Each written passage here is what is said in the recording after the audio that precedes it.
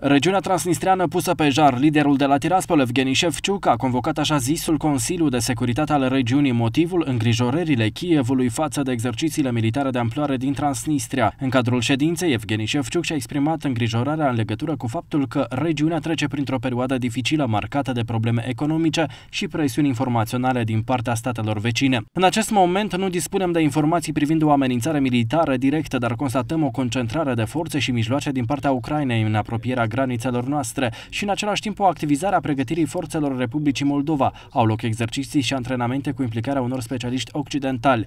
Șefciuc mai spune că promovează o politică externă pașnică și că își dorește relații de bună vecinătate cu Republica Moldova și Ucraina. În context, analiștii politici de la Chișinău consideră că autoritățile moldovene trebuie să fie cu ochii în patru la situația de la frontiera de est a Republicii Moldova. Autoritățile ucrainene se pregătesc să instaleze în viitorul apropiat sisteme de rachete antiaeriene S-300 la frontiere cu Moldova pe segmentul transnistrian, anunță Ministerul Ucrainean al Apărării. Totodată, militarii ruși din Transnistria efectuează exerciții militare de amploare în stânga Nistrului. Soldați ruși din regiune au exersat încercat respingerea unui atac al unui bombardier Suhoi 25 al unui elicopter de luptă Mi-24 cu lansatoare de grenadă și arme automate grele. Situația din Transnistria este discutată intens în aceste zile și la Moscova.